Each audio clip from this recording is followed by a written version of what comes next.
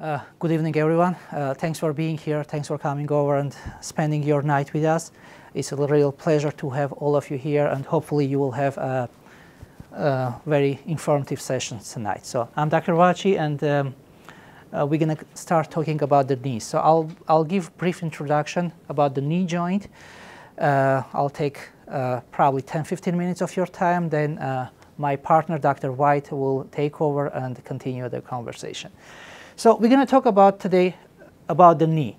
So as you know, uh, the knee uh, is uh, one of the main joints. Uh, it uh, composes of the femur, tibia, and kneecap, what we call patella.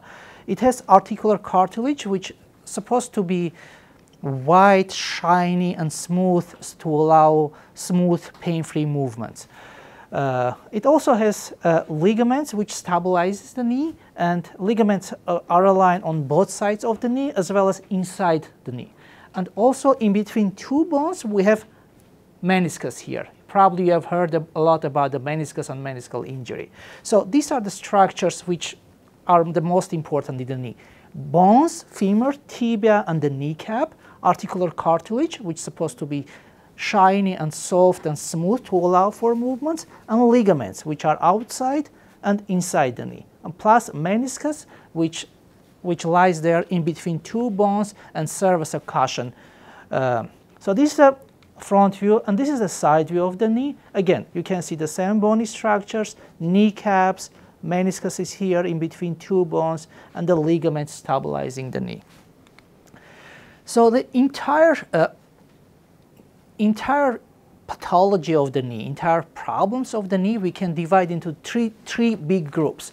Trauma of the knee, deformity of the knee, and wear and tear of the knee. So wear and tear is of course the biggest one, and uh, wear and tear is something which we're going to talk at the end, and my senior partner, Dr. White, is going to talk a, a, lot about wear and tear and how we manage the wear and tear. I'm going to talk about these first two items. So trauma of the knee. Uh, when we put aside the fractures, we have some other small type of traumas of the knee which are specific for the knee only. These are meniscal injury like it's here on this picture and injuries of the ligaments like anterior cruciate ligament injury. So this type of um, injuries uh, usually happen in younger population and they require arthroscopic surgery to repair this. Deformity is a bow legs and knocked knees. This is again something which is happening uh, in younger adults and with the age the amount or the occurrence of deformity increases and is, is predisposes to wear and tear which is uh, really a big problem and especially with uh, age above 50, 55, uh, cartilage is getting worn off, uh, and in the joint we have bone spurs, loss of articular cartilage, joint space narrowing, and this is causing what we call osteoarthritis or wear and tear injury of the knee.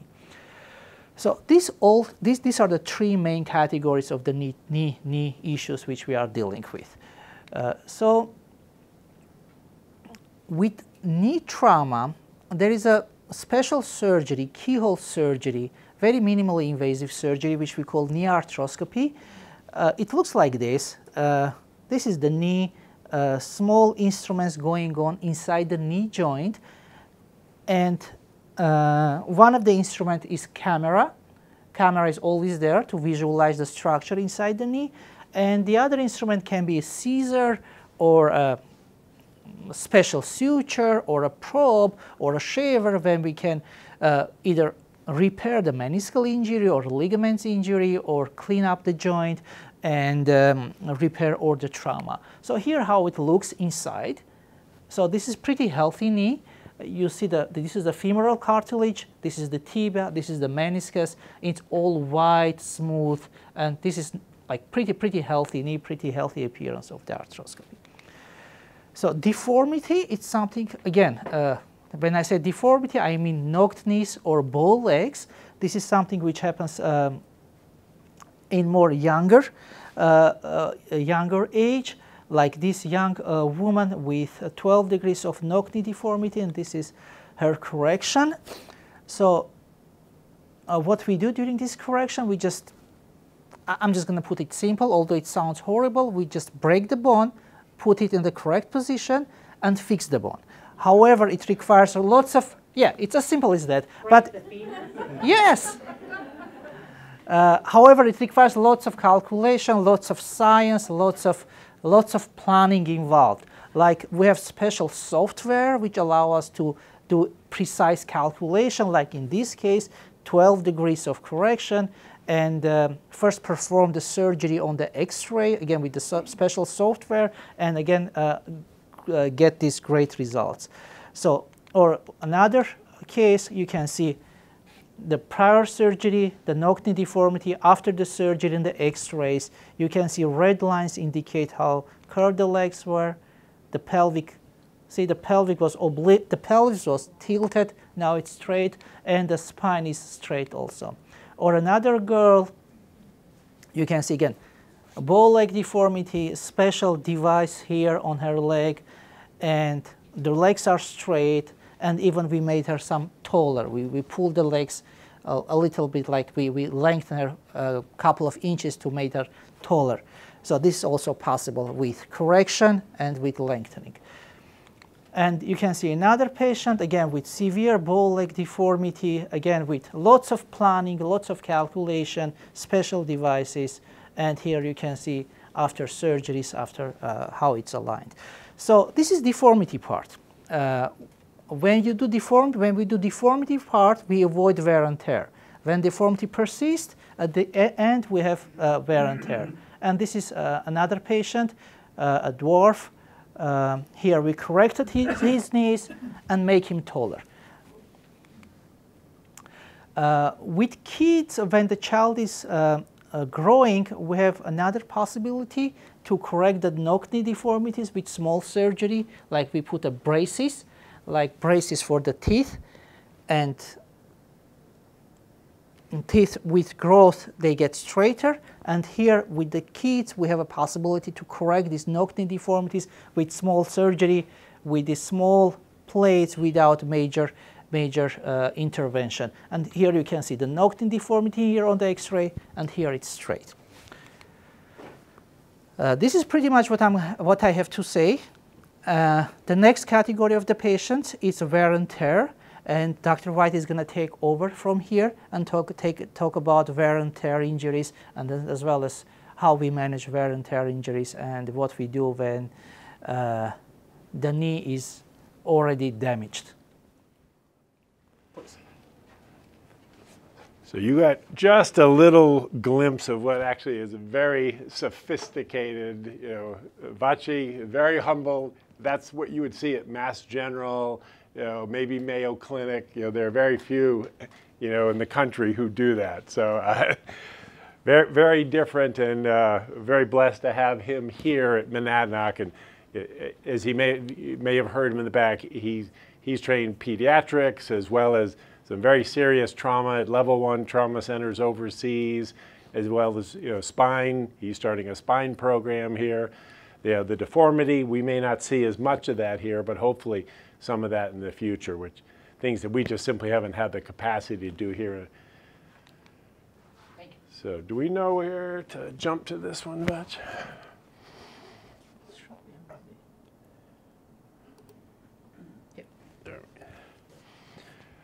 So I know they printed out uh, in front of you about your knees.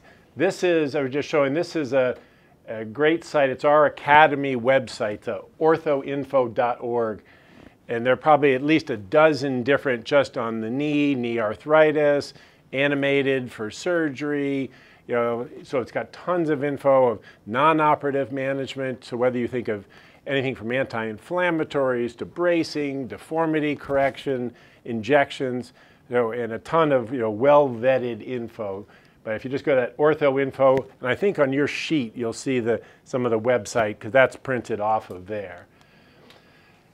So for me, when I think about you know a knee, any joint, you know, it is not just you know it's very different for you know the farmer, from the teacher, from the athlete, from the logger. So you know we may say you know knee arthritis, you know fortuitous, tomorrow I'm doing four knees. And it's a whole potpourri. The first one is a type of total knee we'll see. It's a, called press fit. He's a younger patient, tore his ACL a few decades ago, now needs a knee replacement, so we put it in without cement.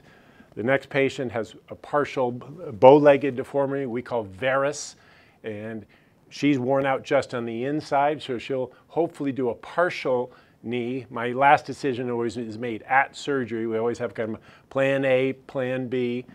And then the second two are the arthroscopic version, you know, both a younger patient as well as one who's trying to avoid knee replacement. And he's like not ready, but he knows one more scope to try to get him over into the seventh decade of life.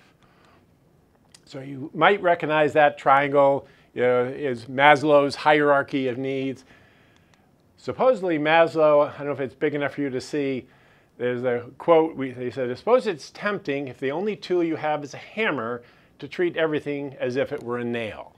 So frequently orthopedic surgeons are stereotyped in that regard, but it, it goes both ways. We, we have a few non-operative uh, colleagues in our office. They're physiatrists or PM&R, physical medicine and rehab, and their hammer is all the non-operative stuff. So they can do everything from injections to rehab to bracing, even a type of nerve ablation therapy for people who the just nerve endings are you know too inflamed, too uncomfortable, and often it's Dr. McNamara who does those. And I'll ask you who's appropriate for that, and it's patients who are too young, too old, too unhealthy. You know, they're they're just they're not there either medically or physically. They say, no, I'll never do a knee replacement, and so they have those options, including what things that you know, Vache and I don't do, but it's in Dr. Harrington and McNamara's repertoire.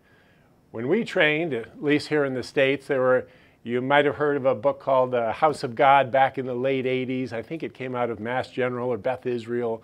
But there were quotes, never let the skin come between you and the diagnosis. Patients, uh, nothing heals like cold steel. But what I tell patients is there is nothing that cannot be made worse by surgery.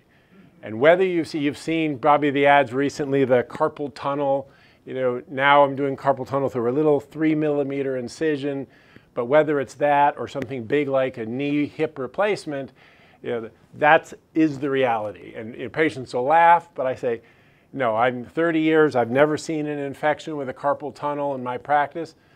But I remember seeing them back when I trained in Boston and the infection coming up the arm, the entire arm having to be opened and treated.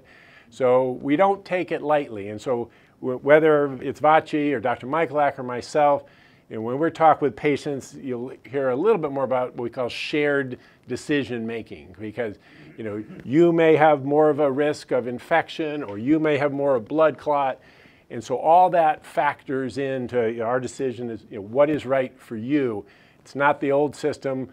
I had one of my mentors was a Korean surgeon, you know, and he was very much the old patriarchal, you know, you know, Don, you need a knee. You're doing a knee. Sign up with Mary. We'll see you in the OR. That was it. You know, no discussion. You know, patient. You know, you didn't care what the patient wanted. That's what he needed.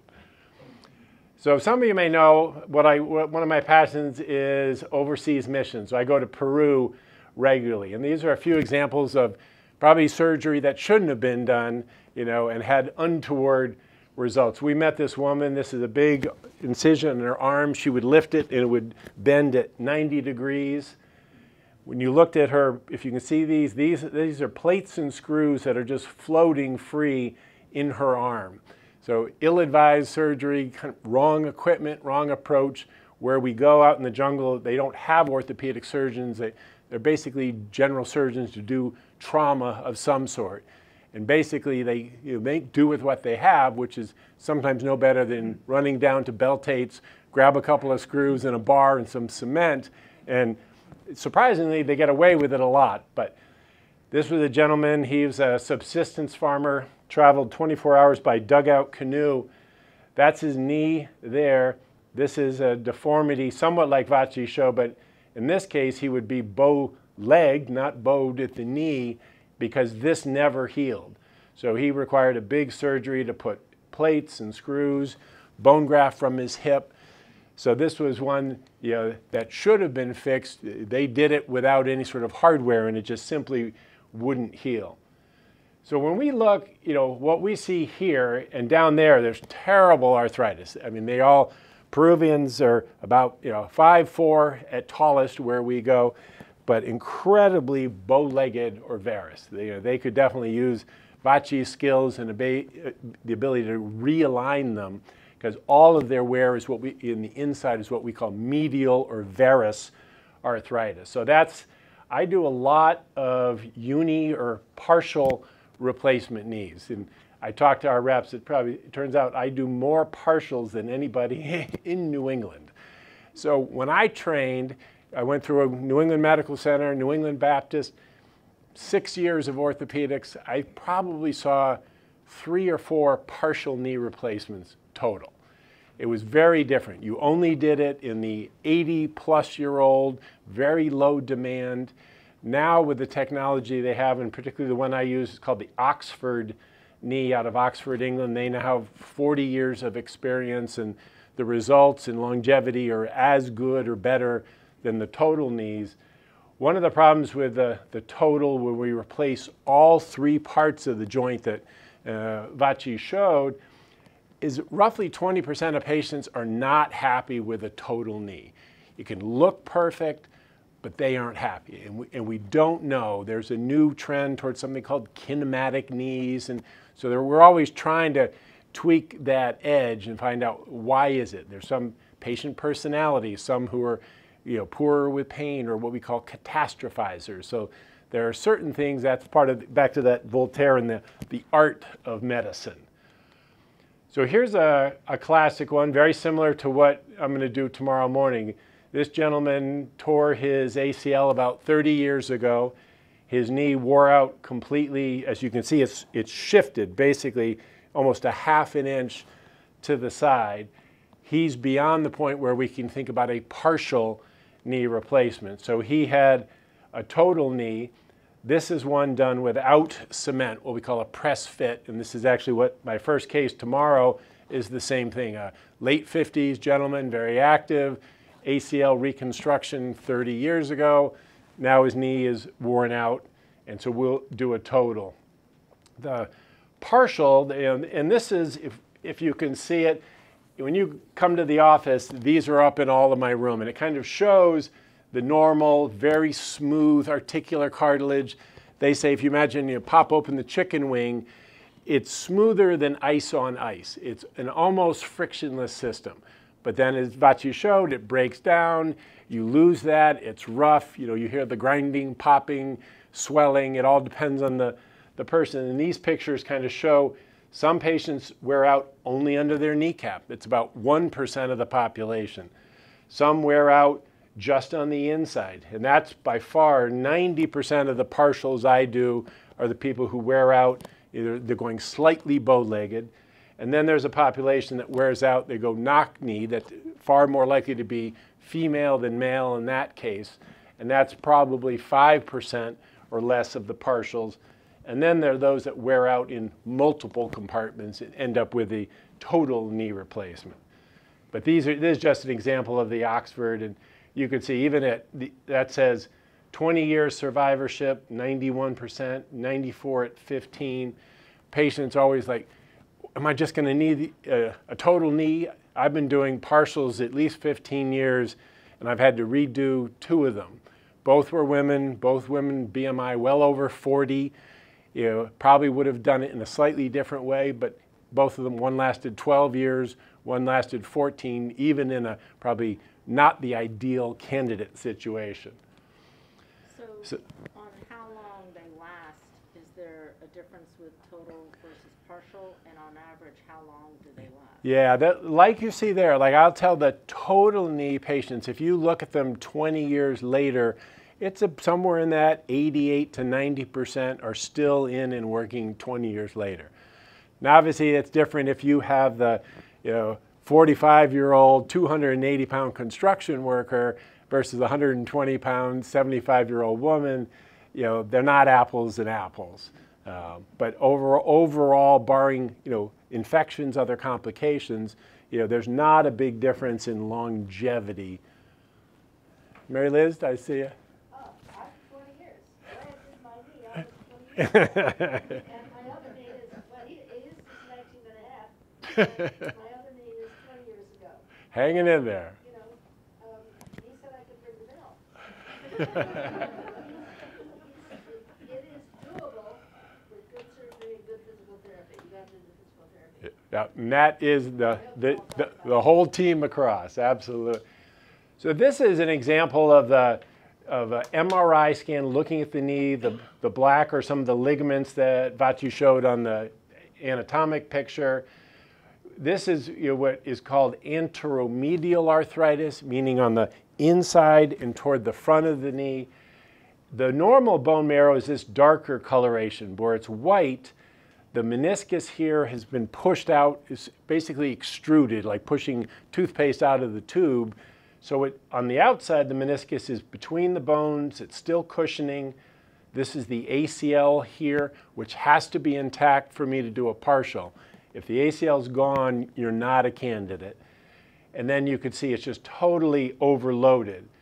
And so these patients, we do in the office, we do an x-ray where you press on a pillow and prior to this view, it would be bone on bone. You stress it, you see that it opens on the inside and the outside remains intact. So that's one of the few markers in tests that I do to say, are you a candidate for a partial? Do we have to think towards total? Uh, what are your options?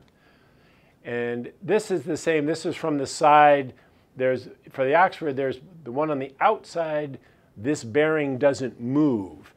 For the one on the inside, it's a little difficult to see from here, but as the knee moves, you've only replaced here, but the white is the bearing. And in this knee, it goes back and forth. On the outside, the way the knee works, there's too much motion. And so this is, it looks similar, but that white piece is, is hooked to the metal piece on the tibia, the leg, because there's too much mobility and it would pop out. So they may look the same, you know, very similar, but there's some subtle, you know, biomechanical differences. And that's what it looks like when you just replace the medial or the lateral side. And these are just other MRI examples uh, honing in. This one may look similar with the white of the bone and the meniscus, but the outer side is also showing changes. The meniscus isn't working normally, and I would push the patient towards a total versus a partial in that situation. These are just, again, additional MRI pictures. We do, we have basically a type of computer software, do sort of CAD CAM planning, what are the appropriate sizes, what do the angles look like, where, and then when something like what Vache does with the limb correction, much more sophisticated software to look at all of this. But this is an example you can imagine. Rather when you do the, the total knee, you get that you know, big piece of metal like somebody in the back row has there, plus the kneecap. When you do the, the partial, that's all. You've taken that area that's overloaded, bone on bone, and so you're not attacking the kneecap part of the joint, you're not attacking laterally, so it's a much lesser procedure, it's faster recovery, it's less or fewer complications overall when I first started, you know, because it was so different than how I was trained, is how are patients going to do? Well, I think they do better. And I, I tell people, I make um, no bones about it. I've been drinking the Kool-Aid for probably 15 years now.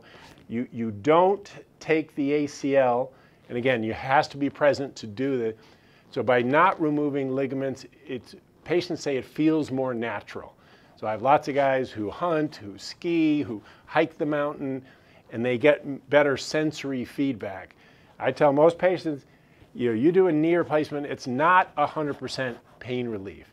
You do hips. I mean, I did, I was talking earlier, I did two 300 pound males you know, on Monday. I could barely move my arm by Monday night trying to wrestle. It's not a gentle operation, but it's a ball and socket. I mean, they go home the same day, they're walking in a few days, often off, off their walker, crutches. knees, even the partials, hurt for longer. But the, no doubt, on average, the partials are much less uncomfortable and can get back to the hunting, side hills, all that sort of activity, hiking up and down Monadnock. This is a gentleman, uh, mid 50s, runs a construction firm, both knees, worn out on the center. He's a big boy, very muscular, probably 260, 270. Did the x rays and said, okay, he does open, the outside seems good. And so these are all pictures actually that I grabbed from patients I saw this last week. I just went through my list and say, okay, who have I seen? And just the variety.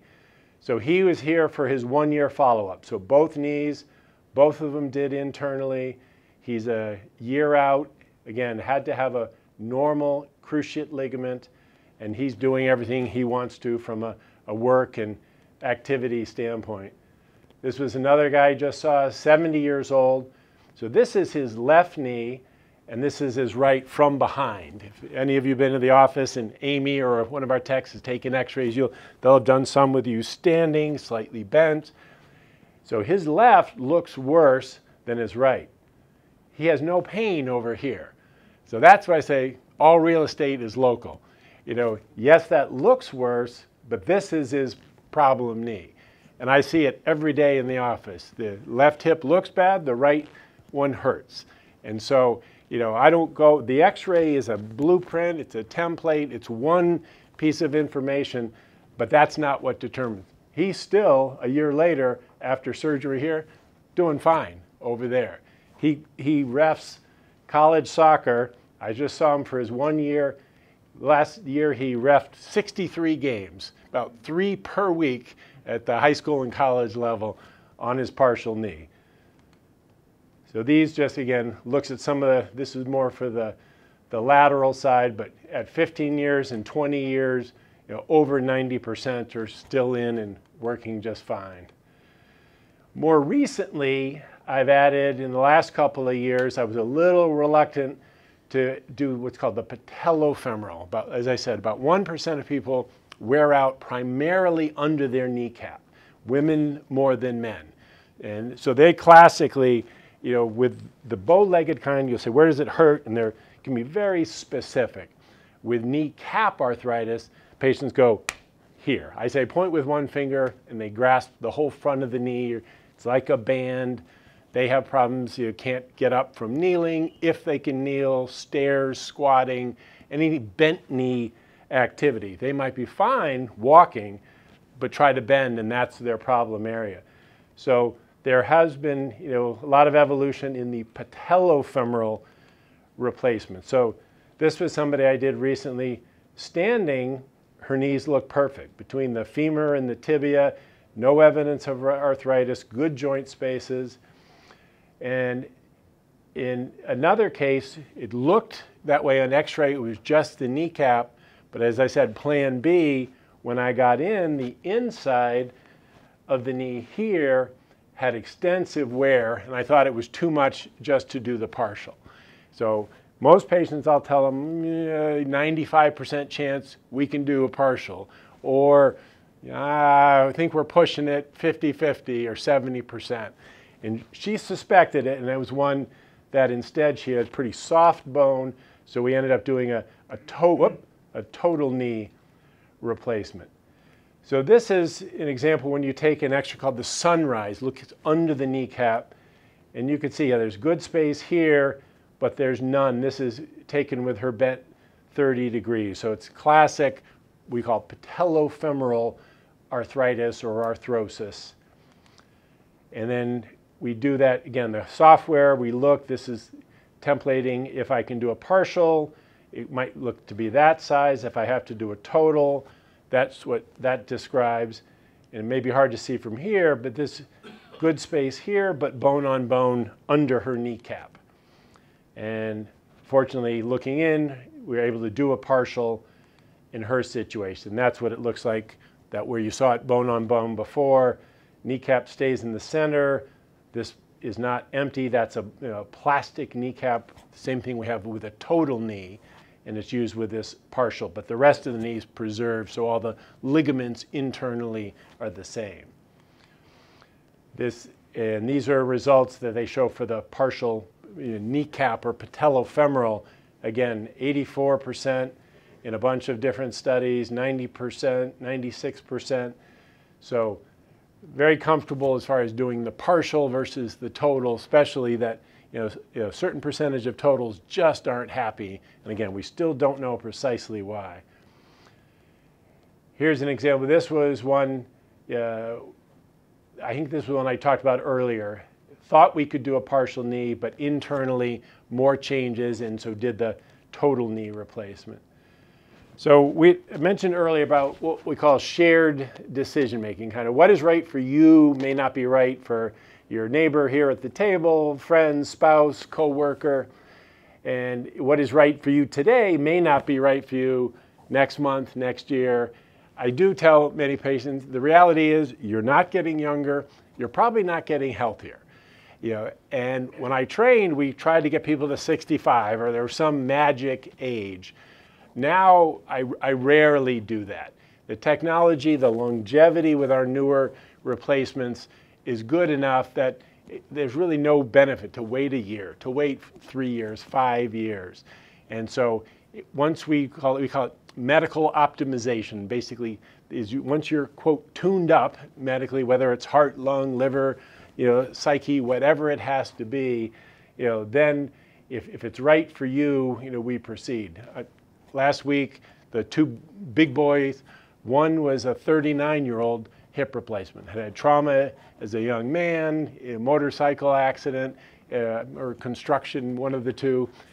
But, you know, he was 39, but his hip was a mess, and, you know, it, it didn't matter at his age.